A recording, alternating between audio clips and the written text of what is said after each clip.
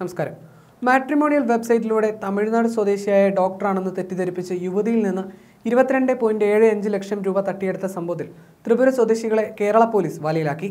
തിരുവനന്തപുരം സ്വദേശിയും ടെക്കിയുമായ യുവതിക്കാണ് ലക്ഷങ്ങൾ നഷ്ടമായത്.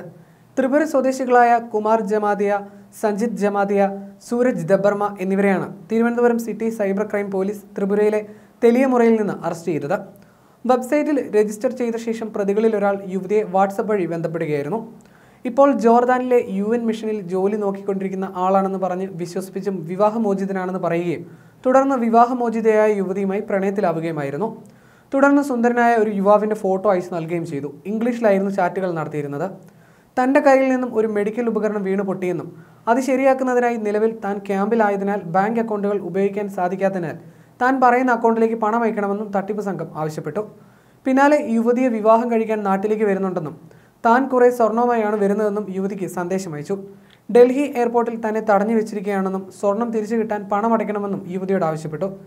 ഇത്തരത്തിൽ പല ആവശ്യങ്ങൾ പറഞ്ഞ യുവതിയിൽ നിന്നും ഇരുപത്തിരണ്ട് ലക്ഷത്തി എഴുപത്തി അയ്യായിരം രൂപ വിവിധ ബാങ്ക് അക്കൗണ്ടുകൾ വഴി കൈക്കലാക്കി. അതേസമയം ബാങ്ക് അക്കൗണ്ട് കേന്ദ്രീകരിച്ച് നടത്തിയ അന്വേഷണത്തിലാണ് പ്രതികളെ കണ്ടെത്തിയതെന്ന് പോലീസ് പറഞ്ഞു. മാട്രിമോണിയൽ സൈറ്റുകൾ വഴി വിവാഹ ആലോചനകൾ ക്ഷണിച്ച് പരസ്യം നൽകുന്ന യുവതികളുടെ പ്രൊഫൈൽ പരിശോധിച്ച് വ്യക്തിഗത വിവരങ്ങൾ കരസ്ഥമാക്കി. അവരുമായി സാമൂഹിക മാധ്യമങ്ങളിലൂടെ സംബന്ധിച്ച് വിശ്വാസത്തിലെടുത്ത് കബളിപ്പിക്കുന്നതാണ് ഇവരുടെ രീതിയെന്ന് Thiruvananthapuram city cyber crime police Marunadan മലയാളിയോട് പറഞ്ഞു. ഇതിനായി വ്യാജ പേരുകളിൽ ഫേസ്ബുക്ക് വാട്സപ്പ് അക്കൗണ്ടുകൾ ഉപയോഗിച്ചിരുന്നു. ഇത്തരത്തിലുള്ള ഒട്ടേറെ പരാതികൾ സൈബർ ക്രൈം പോലീസ് സ്റ്റേഷനിൽ ലഭിച്ചതിനെ തുടർന്ന് അസിസ്റ്റന്റ് കമ്മീഷണർ പി പി കരുണാകരന്റെ മേൽനോട്ടത്തിൽ അന്വേഷണം നടത്തി വരികയായിരുന്നു.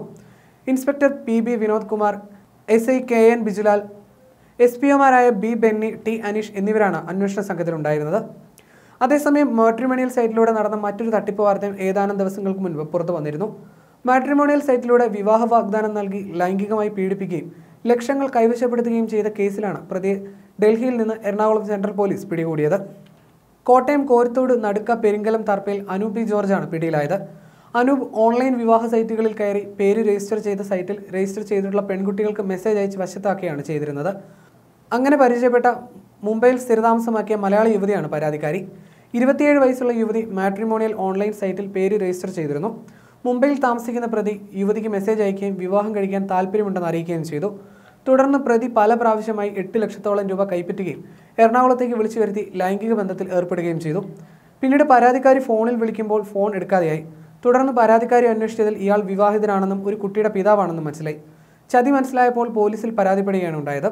Central police station assistant sub inspector Shaji S C P ഒമാരായ Aneesh Vinod Ignatius Shihab എന്നിവരടങ്ങുന്ന പോലീസ് സംഘമാണ് ഡൽഹിയിലെ മഹിളാപുരിയിൽ നിന്ന് പ്രതിയെ അറസ്റ്റ് ചെയ്തത്.